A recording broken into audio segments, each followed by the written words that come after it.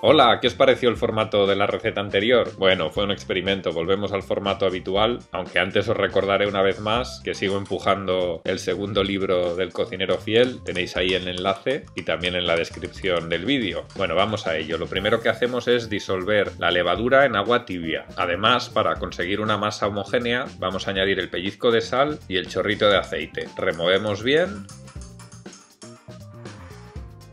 y ahora ponemos la harina en un bol grande y añadimos la mezcla.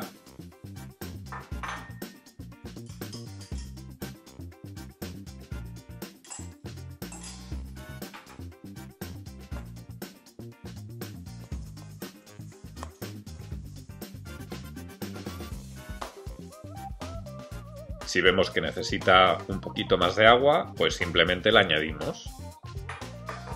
Y ahora formamos la masa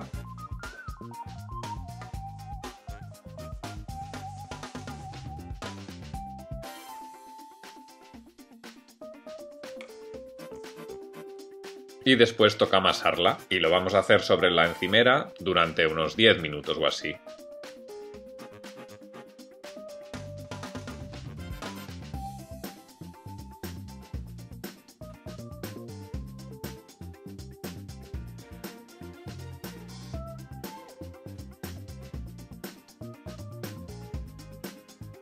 Una vez amasada, debe fermentar. Para ello debéis dejarla en un sitio húmedo y donde haga bastante calor.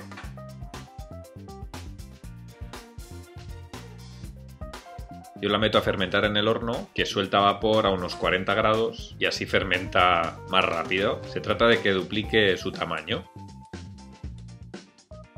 Llegado ese momento, vamos a hacer cuatro piadinas con la masa.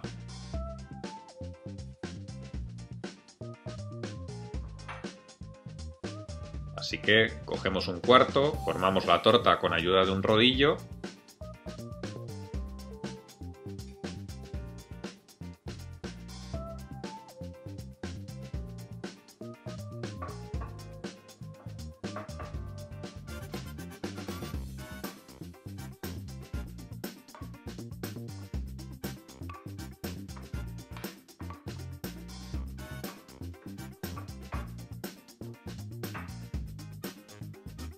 y la vamos a cocinar con el teppanyaki. Lo podríais hacer con una plancha o con una sartén y se tiene que tostar bien por los dos lados. Las puntas quedarán crujientes, pero la torta quedará flexible.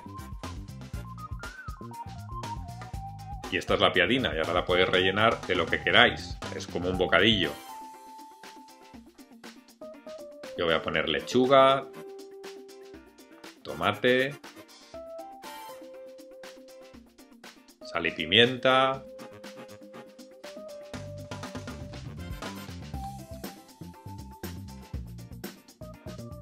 Cebolla, chorrito de aceite.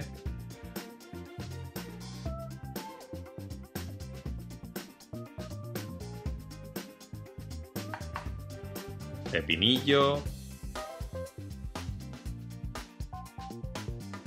Guindilla.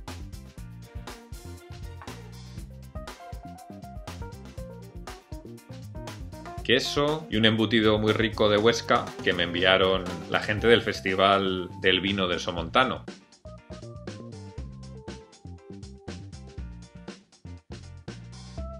Y aquí la tenéis. Bueno, espero que os haya gustado. Un abrazo, hasta luego.